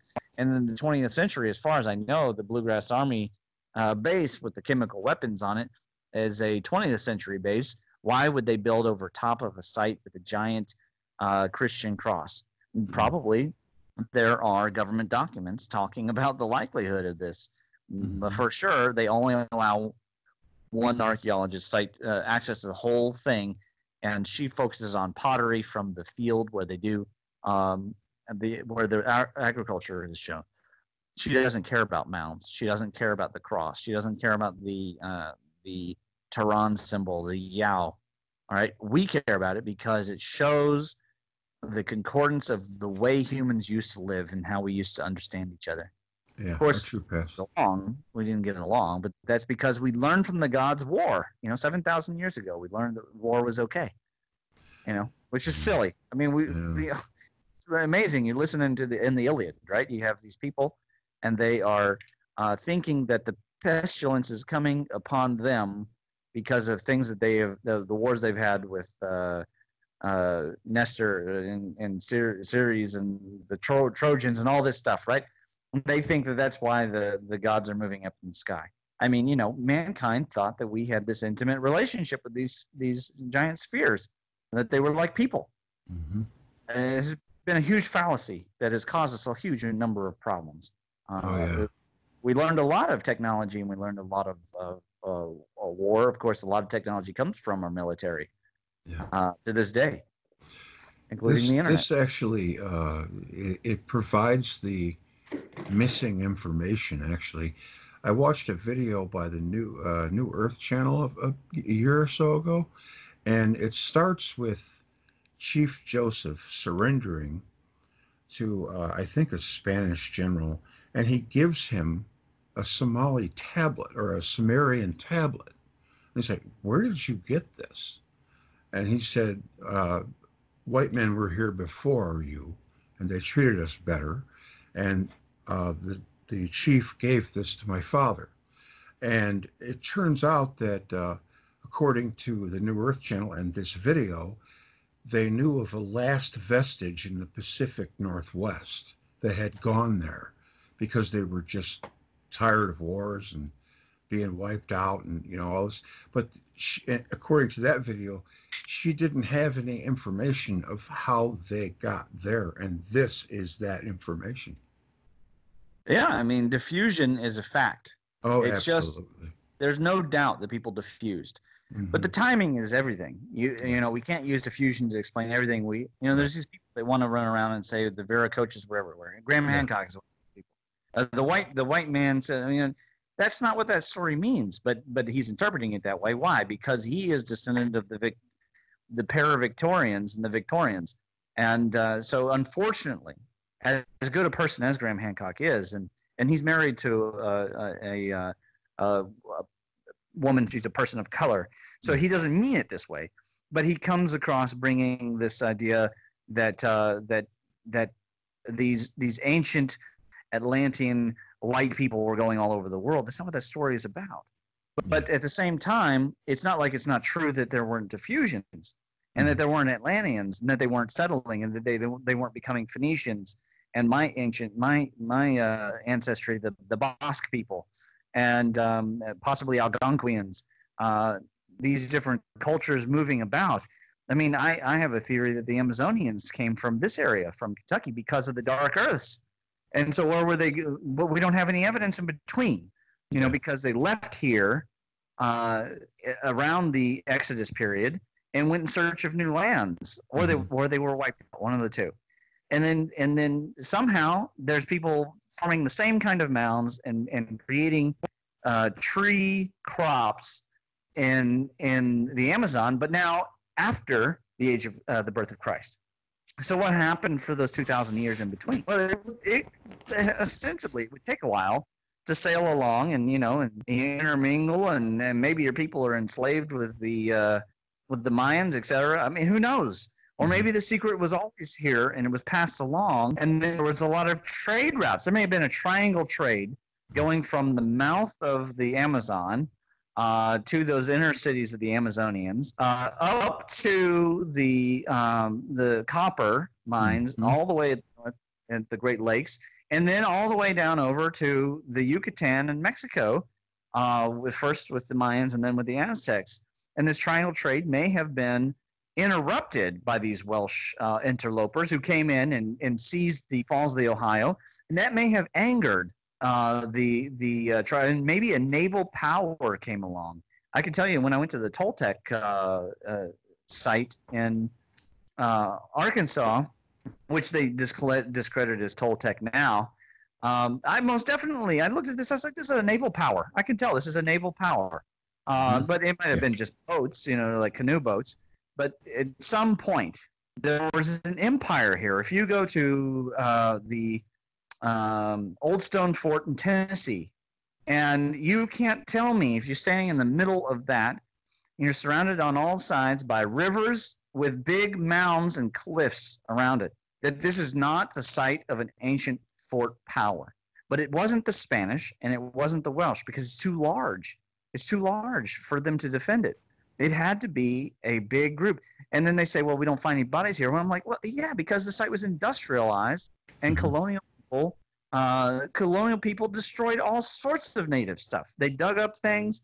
They were, you know, burying. They were burning uh, remains. Mhm. I mean, of course, you're not going to find signs of it, but it's too large to be defended, and there's no other ostensible use of these walls that go all the way around on the edge of a cliff, uh, next to between two rivers. Yeah. Right. This is most definitely a fort. So what are we looking for? We're looking for an empire that is uh, either of the same period or just after the period of Poverty Point, because Poverty Point, its power was, uh, its commerce was centered um, probably halfway between the Mexican powers and the copper mines in Michigan, because we don't know where all that copper has gone, right? Right. And so wh- why was it interrupted? Because it, the, all the dating in the site shows that it was interrupted in the time of the Exodus, 1500 BC to, to 1700 BC, somewhere in there. Yeah. You know, See- I, last time I misspoke. I, I said that it seemed that mankind was more peaceful. What I really meant to say was it seemed like mankind was more uh, accepting of different races. Would that be a fair statement? Yeah, I mean, everybody was racist, but it wasn't like it wasn't considered a wrong thing. You know, I mean, the thing is that uh, back in the day, you know, we get the the feeling like the Irish got it real bad. Mhm. Um, the, the Irish were just as uh, racist, racist against the English Mhm. uh, and against the Scots uh, and against the Italians. When they came to America, the Irish were treat, mistreated. There's no doubt about it. yeah. But they were racist against the Italians. I mean, you know, and these are all different white people. That's the way it was. Yeah. Uh, if you if you came from just a different part in Greece, if you came from Athens or or uh, Sparta, uh, the Greeks who came from Barbaros were barbarians Right. you know and to us i, I met a i met a chinese uh, where we had a chinese teacher and um, she was teaching us mandarin of course and uh, i asked her where she's from and she said this part and i said oh where's that at manchuria oh manchuria and she said oh but i'm han chinese she was so worried uh, Mhm. about uh, which kind of chinese in and, and of course western i'm like oh, it's all It's like that everywhere. it's the same, you know. I mean, it's like, uh, what are they, you know, what are they worried about? Because in most parts of the world, it still matters. Oh yeah. So, and everyone was-. Everyone was racist, but it wasn't necessarily racist in a way like, like you know, they wanted to get, you know, hang them or something. I mean, in Africa, it's hard for us to imagine. In Rwanda, the, the amount of death between the the the uh, Hutu and the Tutsis, but um, you know that's because to to us in the West, they all look the, like they're all Africans, but but over there, there's tremendous difference between them, and that's Yeah. the whole the whole world was that way. Uh, yes, it was tremendous violence, but also at times uh, they could find ways to understand each other. And one way they understood each other was commerce. So if the Welsh came in there with their horses and their armor, and they're making stone fortifications, and they're practicing the ancient religion, but they're practicing it their weird way, all right? And they're using wheels. Uh, I mean, that would be anathema Yeah. if you're a Mississippian. And you and and and you understand the you know you're like oh well the Hopewells build conical mounds but these people uh, they they do you know they make these stone graves and all these other kinds of things. Uh, and you know we use platform mounds. I mean there's just a difference and you can see it reflected in that map. I mean there's a tension that I can see from uh, different sides of the of of the uh, Ohio River Valley and I have no doubt that the Cherokee myths are true. That and and why they aren't taught in schools i don't know because i guess the racism of our uh, uh, of our country unfortunately the native stuff is just not taught. Uh, and i can tell you from the hidden kentucky project the, the waterfalls that are the most uh, polluted in kentucky have the word indian in them you know? So Hmm. it's it's just an unfortunate thing where the, the myths are being wiped out but it also happened to other white cultures that weren't uh, our stream of culture. Uh, like I say, the Arthurian myths were stolen and they were injected. Now you have like Disney, right? The Disney film uh, and the good old in, in London town. This didn't happen in London. There was no London. What are they talking about? London, London was probably some uh, fort uh, cemetery at the time, some Roman fort cemetery. Yeah. You know, it, it, it, London was nothing uh, compared to the Glamorgan and Gwent at that time. Uh, so the King Arthur legends did not happen in England, and the the information was stolen, and then it was buried and it was covered up, and then all uh, attempts to say that it's legitimate were poo-pooed by saying that Iolo made it up, and and that there's no such thing as Troy. And it turns out both of those things are lies because uh, you have runes going back to Tal- the, the, the histories of Taliesin, and you have uh, stones uh, dating well uh, previous to the 1000s, and you have uh, Mhm. uh, you know Iolo's using a, a script which is definitely decipherable um, in multiple cultures. You know, and not saying that you would get an English uh, a phrase, turn a phrase out of it, but the symbols would mean something to ancient people from from the Hebrews, the Etruscans, the Chinese, and probably the Native Americans Mhm. probably the, the, at least the people in this valley. Now, it, could it have been that the Welsh came over here and then they failed uh, two or three times? Yeah, it's possible, but I don't maintain that because we only know from the Welsh stones that they came after uh, the 300s, Okay. um, and probably 535, and then later on in the in the 1000s, and established a colony until they were wiped out. And why were they wiped out? Uh, they were wiped out not, by the way, not that long before the Chinese got here, right? And by the way, in, here's a question: in the To the Gates of Feng Tu, uh, the very opening sections, the Chinese sail to Mecca, and then uh, the the people at Mecca uh, tell them about America. Now, riddle me Mhm. this: How did the Yeah. people at Mecca know about it? Right? Yeah. That's what Chinese. It says it very specifically. This is this is this text has only been translated within the last few years. It's a Chinese text that goes back to the to the 1400s. Uh, they they have they meet the Muslims. You can tell. There's no doubt. They talk very specifically, and because Islam doesn't change very uh, much at all, uh, you can tell that it is Mecca. There is no doubt about it that they are in Mecca, and the description of how they got there by going around Africa, everything is in there. Okay, and the Chinese are talking to them, and they agree. They don't want to, you know, one doesn't want to become Buddhist, and the other one doesn't want to become Muslim, but they like each other. They get along anyways. And then they ask them about, you know, well, we're ready to go home because we've reached the end of the world, and we've seen Europe and all this stuff. And he says, no, you, we, you know, you've got to go over to America. I mean, Yeah. you know, I'm paraphrasing. And they're like, well, where's that? And they're like, go out the the the the way that you came in, Yeah. uh, through the straits, then sail uh, thence another uh, one or two months, yeah. right? So they spend three months. It's in the book, in Chinese, and then they uh, they first uh, uh, end up running into uh, the southern uh, Mississippians uh, cultures, and then uh, they go on up, and then they run straight up into the Cahokians, and they describe Cahokia almost perfectly and and there and thereby spread uh, and the, the they spread smallpox and then um, when they bring the story back to to the Ming Emperor that you know that's when they they burn a lot of the records in order to uh, hide evidence because they were supposed to bring Buddhism around the world instead they brought pestilence that wiped I mean it was a it was a huge disaster Yeah. uh, PR. It was a PR disaster. But how did the Chinese know? They knew because the the people at Mecca and Medina knew. And how did they know? Because everybody knew. Only only our culture did not know. Columbus, it was not a super genius. He was buying maps off of people who knew. And those people knew because they got those maps from other people who got them from other people who had been here. yeah. Now, it's just not yeah. feasible to, to eh, to have the expenses to go to America just any time.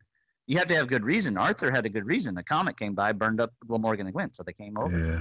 You had to have good reason because there were people who lived here and they and they they were they were killers. The whole world was killers, and and enslaving. Everybody was enslaving. Native Americans owned uh, slaves. Uh, African Americans owned slaves. And you could, people could look this up. I mean, everybody owned slaves. So it was just a violent world. It was a violent time. But diffusion is a fact. Everybody was going everywhere. Completely captivating talk, Ramon. I enjoyed Oh, every great. minute of it. Yeah. The, Uh, I that like, certainly, what, what's that? It certainly got me animated. Oh no, that's that's great. I like that about you. Uh, that you're you know you're into your work. The- I like this one uh, over here on the right. Uh, analysis and science of Greco-Roman Nordic culture and the zodiac days related. Yeah, to yeah. That's a smaller paper that I did that uh, shows some of the plasma scripts. I'm gonna and- have to read that. I'm I'm into That's anything. it's not a bad one. I, I like my I like the short ones a lot. I, I like the the one on the Ferris wheel too, and Okay, um, get you know that. all that kind of stuff. Yeah, I, I, I find all of this. The sumo paper is one of the shorter-ish ones. I mean, it's only in the twenties. The origins of religion. Oh, I'm gonna have That's to check that one. out. That's that's one of the that that one's one of the the. Well, maybe we should do that. the origins of the. That's the origins of all my work, honestly, because uh, that and describing what is EPEMC Mhm. um, which uh, to clarify for people, anybody, it's open source cosmology. Anybody, any of you all can do it. I don't own a copyright to EPEMC. Okay, just uh, you know, if you if you believe in plasma electromagnetic cosmology, and if you like uh, extra stuff, you can think of the E as extra. It means extended, but and you can think of it as extra stuff. Uh, you like Atlantis, you you like um, uh, diffusion, you like King Arthur, whatever uh, just show evidence and bring it all together write good papers cite all your work you make even better looking oxford style papers i'm an engineer so i don't believe in that so I- you know i put a footnote and put the link right there i don't really care for all this uh, highfalutin and i put a name and it's all mysterious where am i going to get that source and you got to go to the library Uh, it's a that's a nightmare i give you the link boom you get right to it that's it's the whole point of the internet in my opinion What but uh, anybody can Futhark? write, write the papers in any any uh, style they want. And uh, so I explained that in one of the PMC papers. But the on the origins is where I really laid out the timeline I saw, at least at the time that I had written that, um, which is before I had read a few things and, and done certainly uh, some of this research, this Arthurian research, before I had found the Thunderbolt strike site and all this stuff. Um, but it's a it's a great paper. Um, it's got a lot of symbols, a lot of diagrams, and things like that. Um, uh, also wrote a, another long paper. There's several uh, long papers in mine. The Atlantis one's pretty long. The um, plasma electromagnetic sky is medium long. Uh, but the magnetic universe theory, uh, that one is like the one that we just did, uh, the plasma glyph one. Uh, the magnetic universe theory, that's a really really long one. It's all alt, alt stream discussions, pretty much. I mean, alt stream discussions of electromagnetism. Um, and I'm refuting the idea that you can eliminate electricity and just talk about magnetism. Uh, just as I would refute the idea that you can just talk about electricity and eliminate magnetism. I hear this from time to time. I always find it amazing to me because you can you can go buy two magnets and you can tell that there's no electricity happening. Mhm. Uh, I, I know that a lot of people haven't had uh, a proper education uh, in electromagnetism by Mhm. going to, to college, and then there are people going to say, well, you know, then you're just indoctrinated. I'm not indoctrinated, folks. It's just that Yeah. I am telling you that there are things about electromagnetism where you can dualize the one force into electricity or to magnetism. Uh, of course, for all of us, I say plasma electromagnetism to combine the idea to get. I, I say in the the uh, magnetic universe uh, theory paper, I say that the the, the PEM, the PEM, is the unified ether theory that everyone's looking for. Uh, we don't need to look anymore. We found it. Unified We keep ether theory. Yeah, the unified ether theory. Oh, right? my, look Everybody's looking for a unified field. Uh, blah blah blah. We don't need to go looking for a new one. That's the problem with the science. They go keep looking for a new one, and then they have to invent dark stuff and all that. Uh, it's like they it's like they went right by the exit. Uh, Yep. We have it. What we Yep. don't do is understand it. That's the Right. issue. We have uh, Futhark? models, but not knowledge. Oh, I know. I agree. You're right. Did you say what's Futhark? What? Yeah. What is Futhark? Oh, that's just another runic system. That's a modern. It's a, a, a late uh, Middle Ages uh, runic system. It's not ancient. Yeah. Ancient, I guess, uh, to you know a seven-year-old, but uh, not ancient to a, a historian or a bard. You know, Coelbren is is uh, is ancient, right? It's going Gotcha. all the way back to the cataclysms and the the gods. Uh-huh. and that's why beautiful. Welsh had a real legitimate uh, religion and story. And the Arthurian stuff, yes, it has the reflections of the symbology, the floating island and the crescent boat and the cosmic hill, because they were using it to rule their people. It has every place in the world that legitimately is old did. Mhm. And by the way, in another paper I discuss, all those cultures with those great memories, they're all hyper masculine cultures. Or you might say machismo. Every single one of them. And uh, can we blame that on the Mars uh, Venus affair, or is it maybe going all the way back to Zeus himself? I don't know. But they do tend to be mountainous places. So these mountainous places do tend to be hyper masculine places. And all of them have great cultural memory of uh, the events that happened in in the skies. Mhm. Uh, it's harder to, to oust people from the hills. You know, they they just Yeah. keep, keep their religion alive. Yep. Same yep. thing here in Kentucky, the Appalachians. You know, some of the, you know, Christianity as it dies throughout uh, the country and becomes something else, something about uh, positivism and something about singing rock songs. Um, it stays most true to its evangelical uh, and Puritanist roots in Appalachia, uh, and that's because those kind of cultures they just tend to, to remember things, but they also tend to be hypermasculine cultures, or what some people will call patriarchal, which is such a becomes such an unfortunate term uh, to deride, uh, but th- those cultures tend to survive for a reason. Um, they they have they have advantages. There's advantages. Cultures of fear. cultures.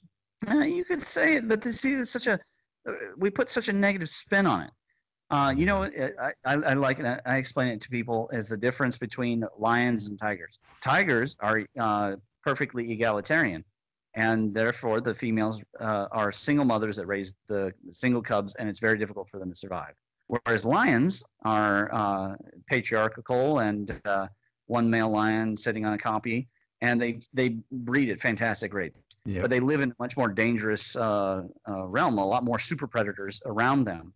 So the females benefit from the, the presence of uh, the male lion. And by the way, those male lions die probably the most violent deaths outside of the insect Oh, they- world. oh, they. I mean, do. it's- Uh, It's brutal. horrible. I mean, Yeah. every single one of them, unless if they if they're fortunate, they die of disease. You know, Yeah. uh, none Yeah. of them die of old age. Not a single one. No doubt. So- I know. I've seen many, many things on lions. I've been into them for a long time. Yeah. It's just a brutal the female world. lions yes it is and the, but the female lions derive protection uh, and help in raising the young i mean the, Yeah. the males help in raising the young that's not true with tigers I mean, now Yeah, you're starting to see prides being run by two and three males. yeah well they have to it's, Yeah. an, it's an arms race because you- i've seen a video with uh, uh, three uh, uh, three male super pride uh, with its, a father and two sons get totally destroyed by five males Yep. Yeah, I Like, saw yeah. that. I saw that one. and and, and that's that's an arms race And because they they're were all breeding so- hunted down one at a time. yeah Yeah, yeah, by well, I another pride. it's Yeah. brutal the way they die. But my point is that the, the you know people misunderstand uh, these cultures, uh, and that's because they don't understand the origins of these things, going back to survival of the cataclysms, Yep. and um, that's where you know hypermasculinity uh, becomes useful. Now, I think going too far uh, is is not good obviously. Right. But there right. are, there's a reason why these cultures survive. The Japanese, the Greeks, the uh, the Mexicans, the Scandinavians. Uh, I mean, the, the the Vikings were notoriously hypermasculine. Uh, mean, Yeah. you could actually you could uh, you could get in a duel if you if you said a man was girly. you know, Yeah. Yeah, life. hyper masculine. I like that. Very hypermasculine. So that's a great that's a great little paper uh, that I that I put out. But um, uh, it's been it's been my pleasure. I hope people go and uh, review some of the papers, especially the Chinese ones. The sumo paper is uh, uh, people love that paper. It's it's it's a lot of fun. You know, All I right. mean, a lot of people find find it as a funny little sport uh, with you know big fat people, but it makes complete sense uh, using the the uh, plasma electromagnetic cosmology. I gotta check it out. I'm gonna have to read that. Uh, it's just been, uh, man, it's been captivating and inspiring, Ramon. I appreciate it. It's been a pleasure, buddy. I'll talk to you if you soon. need huh? a, if you need uh, uh, help on that, by the way, you can go to akha.us or ancient Kentucky with an e at the end instead of a y dot com. Okay. There's a book section, and uh, the books are listed on the left, and uh, those PayPal links go to uh, George. Um, because if you go on to Amazon, you're probably going to see people trying to sell you copies Yeah. for hundred Oh, dollars. that's that's good advice. Thank you. Yes. yeah, those are those are scams. All right, Ramon. Until next All right. time, buddy. Have a Okay, good time. Thanks have a good night. All right, you Bye. too. Bye. To me, this isn't anything about who was first or race or anything like it's more about another example of our true history being hidden from us. It's pretty apparent in the first century AD there was some kind of worldwide trade going on and cultures migrating because of world catastrophes. They do it even in war or any time. Now we call them refugees.